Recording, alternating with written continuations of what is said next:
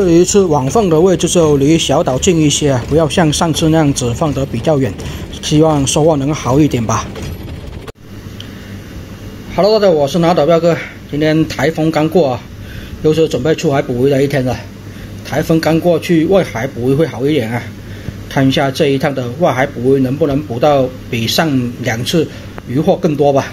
然后现在把装备收拾一下，就准备挂到船上那边去了。台风刚过，晴朗的第一天，我们先准备出海捕鱼去了。然后这一边机器也启动了，直接出发过去外海那个方向。去的位置大概距离这一边也就是十五、十六海里而已。从渔港这一边开过去，大概也是要两个小时多一点吧，差不多。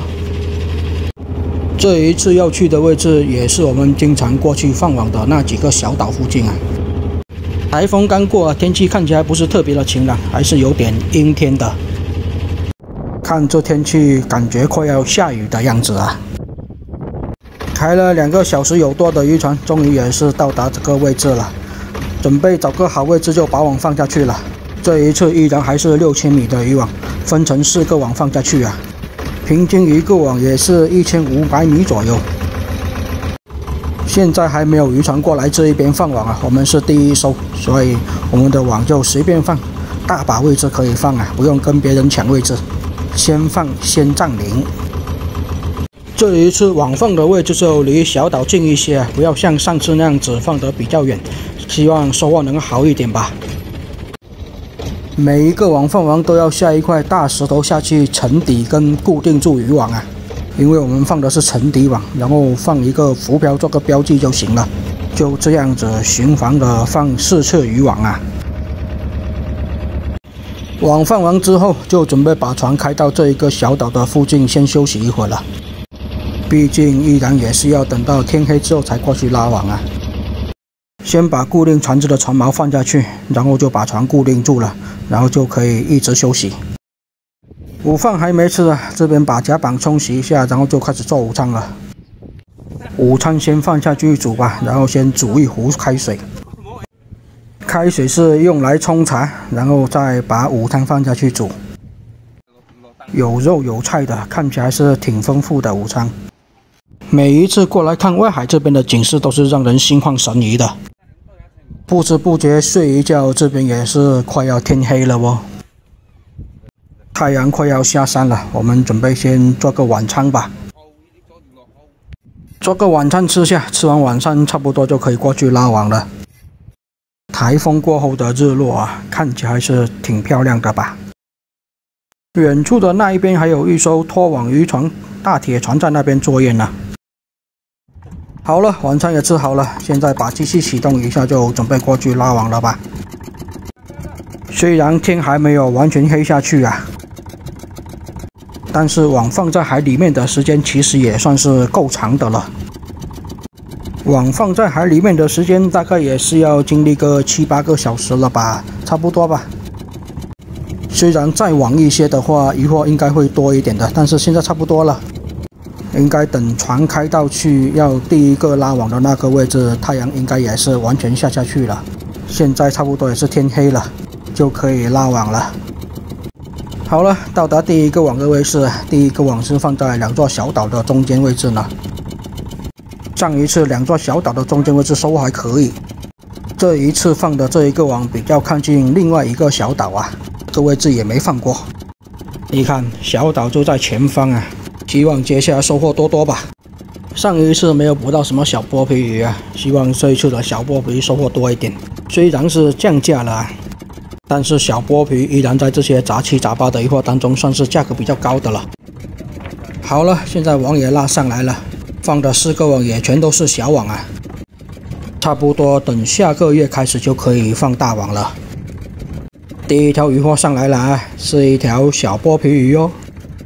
有小剥皮上来啊，证明今天的小剥皮应该不在少数了。再来一条小剥皮鱼啊，今天的小剥皮鱼先把它们养活起来。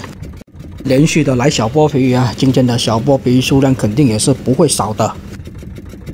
毕竟今年的小剥皮鱼数量算是比较多的了，而且网也没有上次看起来那么脏啊。台风过后，海底的海水应该清澈了不少。这边来了一条加基鱼啊，学名二长棘鲷，我们叫做盘仔鱼，也叫做萨沙。上一次的外海捕鱼就捕到了挺多的加基鱼的。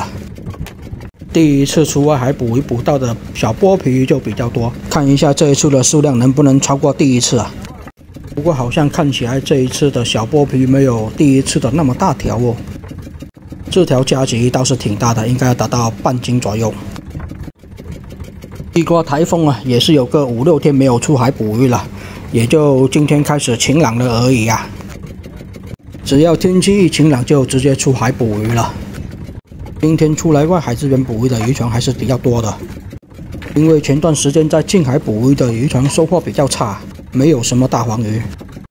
虽然最近的大黄鱼价格开始上涨了。但是毕竟数量还是比较少的嘛，我们也没必要去碰这个运气，还是出来外海的收入会稳定一些的。毕竟不管怎么啦，都会有一些鱼货上来的嘛。鱼货再怎么少，收获也是有个两三千块钱的。而近海的话，有可能一条鱼就能达到两三千块钱啊。但是太碰运气了，毕竟也是刚开海捕鱼没多久嘛。肯定是出来外海捕鱼的收获会稳当一些的。乌斯邦倒是来了一条啊，这种是属于小型的石斑鱼啊，长不到非常大。今天这一种观赏鱼倒是来了两条了，直接把它们丢回海里面去就行了。其实我们一般也不是很喜欢在近海捕鱼，除非天气只晴朗了半天没办法，那就只能去近海捕鱼而已啊。但凡能晴朗个一天以上的。肯定是要出来外海捕鱼的好啊，特别是天黑之后的天气不要刮风才行啊。外海就是天黑起网的嘛，近海就是网没放一会儿，差不多吃个早餐就要开始拉网了，所以时间就比较匆忙啊。所以在近海捕鱼，即使有一点小风浪都可以出去啊。刚才感觉那条乌斯斑太小了，就直接把它丢回海里面去再长长吧。不过最近的大黄鱼涨价了不少啊，也有渔船在近海捕鱼，而且在近海捕鱼的渔船是属于大多数啊，出来外海的还不到五分之一呢。大部分人还是选择这种比较碰运气的捕鱼方式，毕竟捕一条大条的大黄鱼就很值钱了，有可能一条鱼就能顶我们两三天外海的收获了。但是太碰运气了，偶尔有个一两条都不知道被谁捕到了。毕竟有那么多的渔船嘛，海鲤鱼来了一条啊！今天的第一条海鲤。最近的海鲤鱼都挺肥的啊，上一次带了一条回去吃，还挺好吃的，看起来够肥啊！只要简单的把它煮熟或者清蒸一下就挺好吃的，红烧一下也挺不错。毕竟是正当季啊，海鲤鱼的数量还是有一些的，肉质呈这个蒜瓣肉，反正我是挺喜欢吃这种鱼的。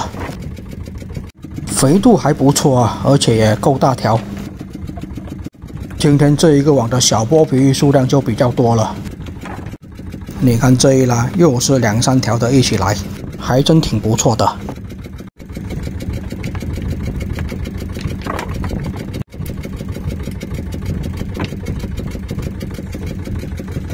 上一次的小剥皮就降价了，一斤才剩下五十三块钱。第一次还有个六十块钱呢。直接就下降了七块钱了，已经。不知道这一次回去买会不会继续降价？毕竟按目前这样的数量来看，应该数量还是比较多的。而且今天出来外海捕鱼的渔船也是比较多。如果大家的小剥皮都比较多的话，那我估计价格还会再下降一些的。再来一条海鲤鱼哦，这一个网的第二条了。海鲤鱼来多一些也挺不错，毕竟价格也不低，而且体型相对小剥皮来说要大条很多呢。现在的海鲤鱼应该有个三十几块钱到四十块钱之间，价格算是还可以啊。今天的这个网来的加急数量还是比较少的，才来了这么几条其他鱼货而已。鱼货是一直有啊，但是大部分都是小剥皮鱼。你看，网拉了一半了，日落后的晚霞看起来是非常的漂亮吧？这风景还是让人赏心悦目的。加鲫我们就比较喜欢拿来香煎一下，小海星来了一个，今天的第一个小海星，这个比较小个啊，直接就掉出来了。来了一条纳哥鱼啊，应该是那条纳哥鱼。像这种纳哥鱼，它肉质比较粗糙啊，我们就不要了，把它丢回海里面去就行了，也不怎么好吃吧。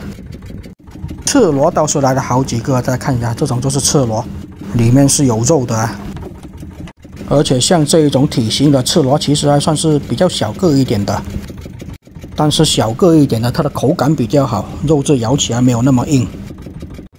哟，这一尾网拉上来的长颚比较乱哦，是真的乱。要把这个网先整理一下，才能继续拉网了。可能是网绕到什么东西了，直接卷乱了。像我们这种人工放网的，应该就网不会这么乱的。继续来加鲫鱼呀，还活蹦乱跳的呢。这一回的加急倒是连续的来好几条了哦。像这一种规格的加急，价格会相对便宜一些，价格应该是二十几块钱到三十块钱不到吧，差不多。大条一些的会好卖一点啊，能卖到三十来块钱。不过还是来多一点小剥皮吧，毕竟价格比较高。小剥皮它的肉就属于比较清淡的，吃起来是清甜清甜的，所以红烧小剥皮的话，它会比较入味。反正小剥皮正当季吧，怎么做都挺好吃的。我就最喜欢红烧了，特别是小剥皮的鱼干，吃起来是入口即化哦。你看，每一回都连续的来了好几条小剥皮鱼啊，好像都来了有个十斤左右了吧，应该差不多。而且这才第一个网呢。哎，来了条泥猛鱼啊！今天的第一条大泥猛。第一次出外海捕鱼的泥猛鱼比较多，然后第二次就没有什么泥猛鱼了。但是目前的泥猛鱼还是比较肥的，而且还比较大条。像刚刚的这一种，应该也都是两三条就一斤左右的规格了。外海的野生大泥猛啊，还挺不错。但是解柠檬鱼就真的要比较小心啊，不要被它的背上的刺刺到，真的是又肥又大条啊。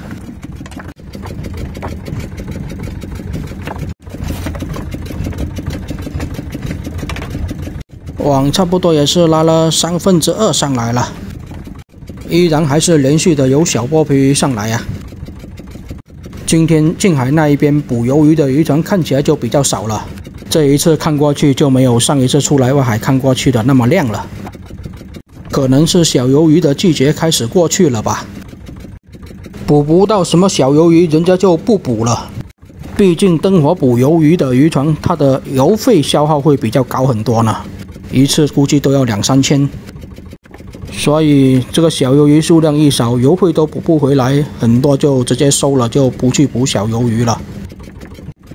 所以今天灯火的渔船明显就少了很多了，而且有一些开去别的地方灯火捕虾了。鱼这里倒是来了一条老虎鱼哦，真的挺不错。老虎也算是比较值钱的鱼货了哦，这条看起来挺大条的，应该有个三四两吧。老虎鱼也是要养活起来，价格才比较好卖一些啊。灯火捕虾也是捕一些野生的白刺虾，也算是明虾的一种吧，不过是野生的，也是利用一些虾的趋光性进行围捕。反正开海捕鱼之后，各种捕鱼方式都有吧。每艘渔船或者说每个人捕鱼的方式都不一样。今天的价值还是比较少一些的。相比上一次的话，还捕鱼，感觉数量就少很多了。不过小剥皮够多就不错了。这边这一个网应该也是接近尾声了哦。再来一条泥猛鱼啊！这一条泥猛鱼也是挺肥的哦。这一个网又捕了这么两条泥猛鱼上来，两条都是挺肥挺大条的呢。两条估计就要一斤了。好了，这个网也就拉完了，然后准备过去拉下一个网。这个网收获还不错啊，那下一个网的视频就下一期再分享给大家看吧。我是拿岛彪哥，还请大家给我点点关注，观看下一期精彩的外海捕鱼视频哦。